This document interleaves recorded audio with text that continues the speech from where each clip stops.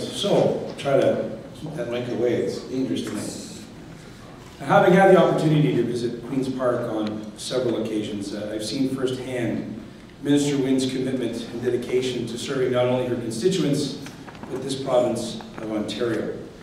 With that said, it's no surprise uh, when she's, what she's accomplished in the faith that her colleagues and the Premier, the Premier have in her abilities to get the job done.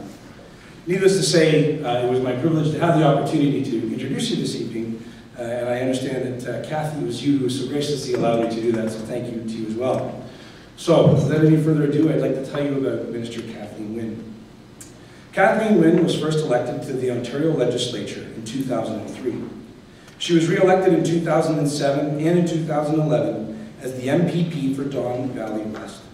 On October 20th, 2011, Kathleen was appointed Minister of Municipal Affairs and Housing and Minister of Aboriginal Affairs. She's previously served as Minister of Transportation from 2010 to 2011 and Minister of Education from 2006 to 2010. As the Minister of Education, Kathleen led the government's efforts to reduce class sizes in primary grades and to implement full-day kindergarten. On that note, I have a four-year-old that would like to speak with you at home. Maybe we'll do that later. Obviously, this will provide more opportunities for high school students to graduate and to reach their full potential. Before the Premier asked her to serve as minister, she was appointed as parliamentary assistant to the Minister of Training, Colleges and Universities, parliamentary assistant to the Minister of Education, chair of the Cabinet Committee on, the on Community Affairs Policy, and chair of the Liberal Women's Caucus. Kathleen holds a master's degree in linguistics from the University of Toronto and a master's degree in adult education from the Ontario Institute for Studies in Education. She also completed uh, mediation training at Harvard University. Building on a lifetime of political activity and a career of public service, Kathleen is knowledgeable and, passionate, and a passionate advocate for her community of Don Valley West. She's led citizens groups in a number of grassroots community projects and has played a major role as an organizer and facilitator. She was formerly a public school trustee in Toronto, and all of this has led to a results-based approach to life, government, and community. Kathleen has three children, Chris, Jesse, and Maggie, and two granddaughters, Olivia and Claire. Kathleen and her partner Jane have lived in North Toronto for more than 25 years. Minister Wynne?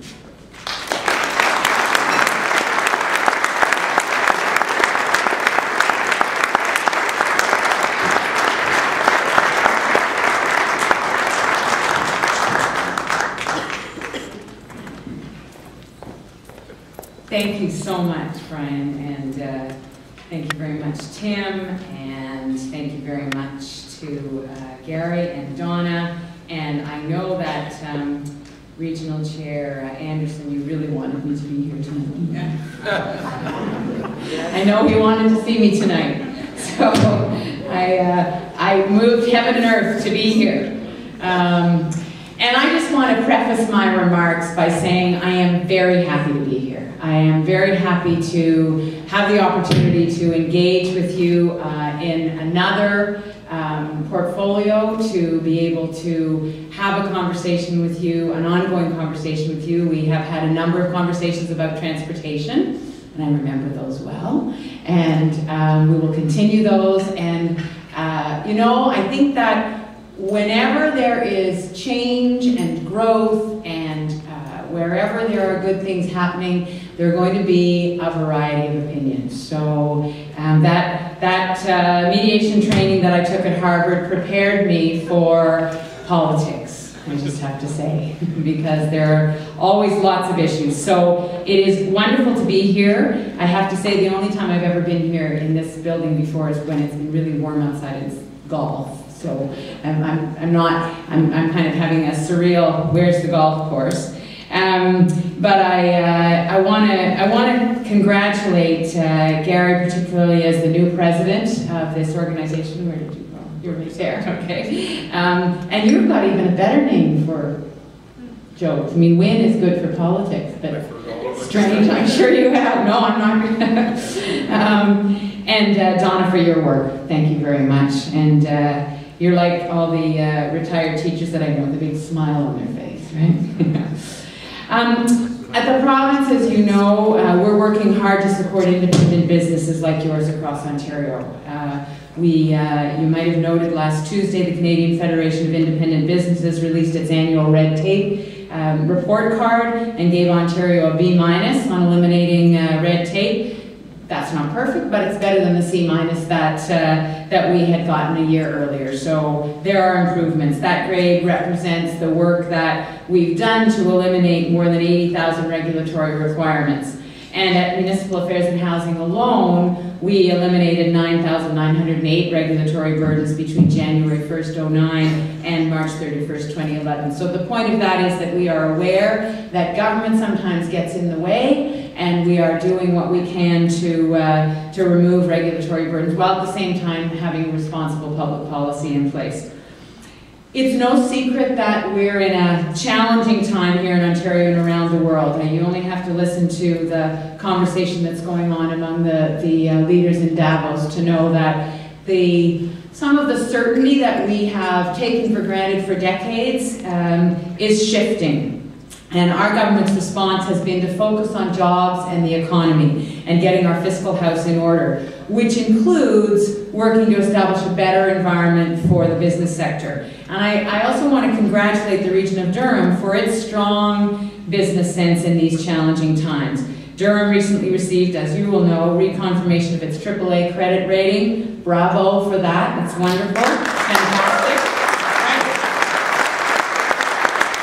And that makes Durham only one of eight municipalities in Canada to receive that rating from Moody's Investor Services. So you're doing a lot right, thank you for that.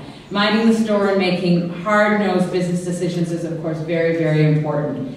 But at the same time, our government will not forget those who are less well off, and that is the challenge for, uh, for government.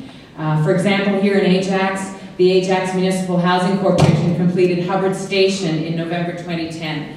Um, and that's an 84-unit affordable housing project built with $3.5 million of provincial funding and $2.2 million of federal funding. That green energy building is a good example of what can be accomplished when all three levels of government work together, and I think that is the best that we can do is to expect that all three levels of government will work together. So to continue that type of work, last November I was pleased to participate in the announcement of a new uh, four-year investment in affordable housing with the federal government. That agreement will have far-reaching benefits all across the province and it will, it will benefit people who need affordable housing, but it will benefit people who don't necessarily need affordable housing, but we all need to live in communities where uh, people have access to what they need. We'll also create jobs. More than 5,000 jobs will be created over the term of this program, so communities overall will benefit, and we'll be able to build or repair 7,000 units of affordable housing um, in Ontario over four years. In addition, small businesses across the province will benefit from the, the home building activity and the repair activity. Durham Region's allocation of that new uh, money is uh, about $14.9 million over four years. And um, that whole investment in affordable housing is part of our long-term affordable housing strategy. And that strategy is designed to give municipalities more flexibility than they've had in the past uh, in how they decide to provide affordable housing in their municipalities because obviously the needs are different depending on where you are in the province. Durham is an area that's growing. Um, there are many parts of the province with uh, very different needs. So for example, um, we uh, no longer are they told, no longer municipalities told they have to spend on new housing and on rent supplements. Mean, municipalities are now given affordable housing funding and have more discretion on how best to use it. Um, I'm a firm believer that when we get people into those safe, affordable housing uh, units, we're helping entire communities. People who have decent housing are healthier, both physically and mentally. Children who have safe homes do better at school and go on to more fruitful lives and, uh, and uh, fruitful careers. And their communities, as, as I said, become places that people can take pride in. So from my perspective, community building is a priority for my ministry, it's a priority for this government. And we envision those strong, viable, sustainable communities all over the, all over the province. On that subject, Most of you are likely aware that yesterday I declared a uh, provincial interest in the Seaton, Ontario Municipal Board hearings. I also declared my intent to amend the Central Pickering Development Plan in a number of areas. Some of the plan's goals are a community with high-quality employment opportunities, neighborhoods that have minimal impact on the environment, natural open spaces with parks and trails that support healthy walkable communities, and a range of transportation options, including public transit, and finally, permanent protection of the Duffins Rouge Agricultural Preserve for agriculture and conservation uses. Um, I know that uh, some of you are wondering about the Durham Regional Official Plan Amendment, and because that matter is before the OMB, uh, we're still a uh, party in that process. Um, if I go back to what I said originally, our government has been steadily implementing a long-term vision for the Greater Golden Horseshoe, one that drives economic growth, job creation, healthy communities, and environmental protection. And it means future new business opportunities, new customers, and more investment opportunities. And that's good that's good news for the people in this room, for the members of the Ajax Pickering Board of Trade. Um, I would also like to just say that I think we're involved in a culture shift. Now, those of you who knew me or heard me speak when I was the Minister of Transportation heard me talk about a culture shift. You will know that I grew up outside of Toronto. I grew up in Richmond Hill.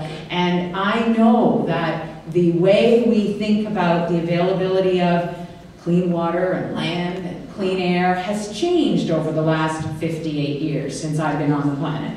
And so we are, we're engaged in a culture shift. There were no buses in Richmond Hill when I was growing up. There was only uh, the opportunity to have one car, two car, three car families, and we got in our cars and we went to wherever we were going. Um, the, the single most uh, frequent request I get from people living in the GTA outside of the, uh, the former city of Toronto, the, the old city of Toronto, is when are we going to get more transit? When are we going to be able to get out of our car? We want to do it, but it's just too inconvenient. So the whole thrust of planned growth and sustainable communities that we're involved in, integrated transportation planning, is part of that culture shift. So although um, I've worked with you on transportation and now I'm working with you on municipal affairs, those things are very much connected. And so uh, I think that the kind of culture shift that we've been engaged in and that honestly we have been driving, and I take,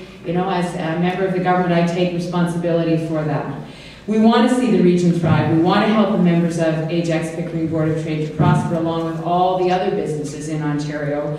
Um, you know, we really believe a rising tide lift all, lifts all the boats. So a prosperous Ontario means a better standard of living for all of us. We're all connected. So this is our next step in supporting Durham. We've already made significant investments in the region. The University of uh, Ontario Institute of Technology is drawing students from across Canada. It's a terrific institution. The new Regional Cancer Centre and the new Durham Courthouse have uh, revitalized parts of Durham. Work on the 407 East is proceeding with the uh, relocation of key utilities and the acquisition of property along the corridor. And in addition, we've started construction on uh, a bridge for the Highway 407, Highway 7 crossover in Whitby.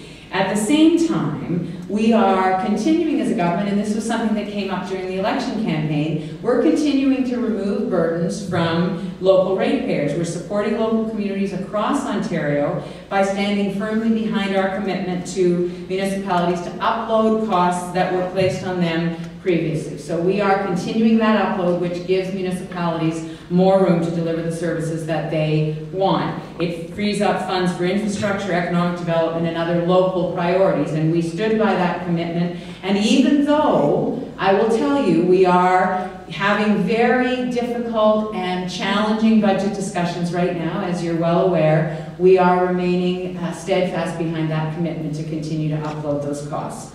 In addition, the Ontario Municipal Partnership Fund is that responsive fund to, that helps with local circumstances and helps municipalities with, for example, high social program costs or high policing costs.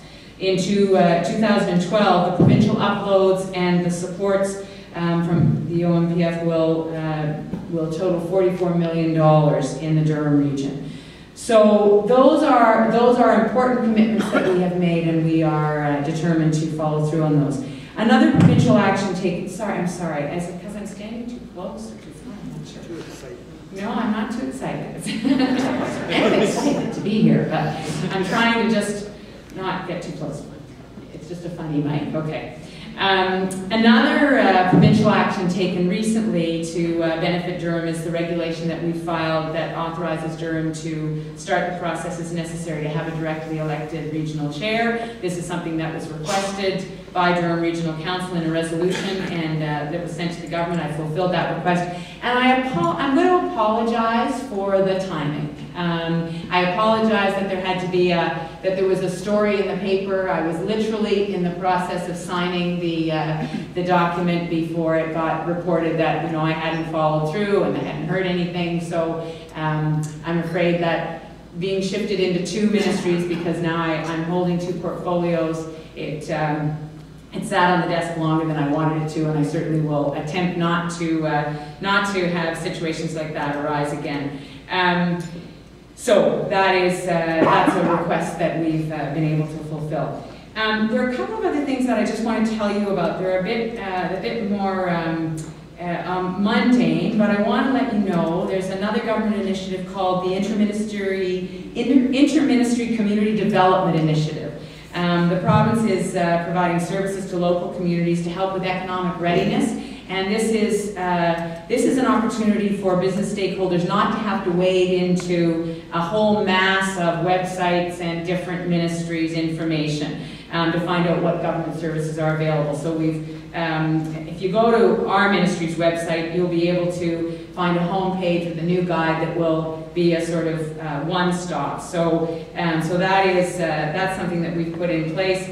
Um, we're also trying to um, make sure that communities get faster targeted access to the right people. Um, and not only just the information, but to actually make those connections. So we've created what we call provincial economic transformation teams, and these teams collaborate directly with stakeholders um, in order to set priorities, establish strategies, and leverage resources when you're working on a community economic development project. So it's a new way of working with communities. It's, uh, it's one that provides a one-table approach, as I said, instead of having to go to a, a whole bunch of different places to get everything in one, uh, in one place. And would be great is if an organization like this could give us feedback to see if making those changes actually makes any difference because um, you're the folks that we want to serve. Um, so those are the those are the specifics that I wanted to talk to you about. I want to conclude by saying that I think we share a common goal, and I know I, I was being flipped when I came in, and Roger, I didn't mean to be to do that, but I I know that there are people who probably have bones to pick with me tonight and would like to uh, would like to um, do that. There also are people probably in this room who, who think that we're on the right track and are quite happy with the direction we're going. That's the nature of the political endeavor. That's the reality of a democratic process. We're going to agree on things. We're going to dis- we're going to dis- going to disagree on things.